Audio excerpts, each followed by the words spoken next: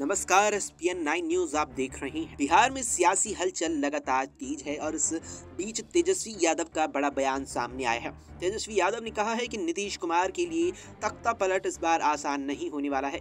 सूत्रों से बताया जा रहा है कि तेजस्वी ये बयान अपनी पार्टी, आरजेडी के विधायकों और नेताओं के साथ बैठक में दिए हैं।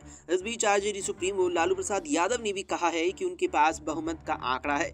ये सारी खबरें सूत्रों से सामने आ रही हैं। बिहार में राजनीतिक उथल पुथल के बीच आरजेडी खेमा पूरे तौर पर सक्रिय हो चुका है और सूत्रों से बताया जा रहा है कि गठबंधन टूटने की सूरत में आरजेडी की ओर से तेजस्वी यादव के नेतृत्व में आज दिन में एक बजे सरकार बनाने का दावा किया जा सकता है। बताया जा रहा है कि आरजेडी कांग्रेस वाम दल के 114 विधायकों के साथ जीतन राम मांझी के चार विधायकों को भी अपने पाले की करने की कवायद में जुटी हुई है।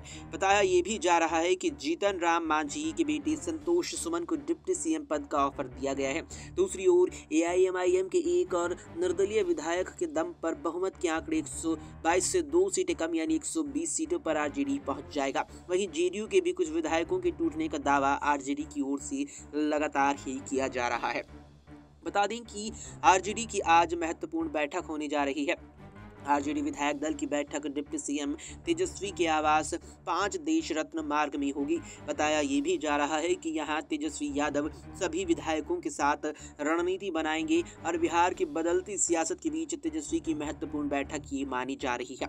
खबर है कि आज दिन में दो बजे आरजेडी विधायक दल की बैठक में तेजस्वी यादव अपने दम पर सरकार बनाने का दावा कर सकते हैं।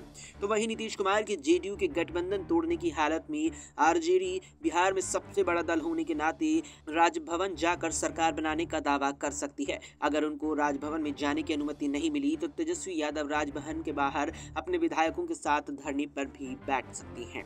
फ़िलहाल के लिए इस वीडियो में इतना ही। देश और दुनिया की तमाम खबरों के लिए आप देखते रहें एस पी न्यूज़।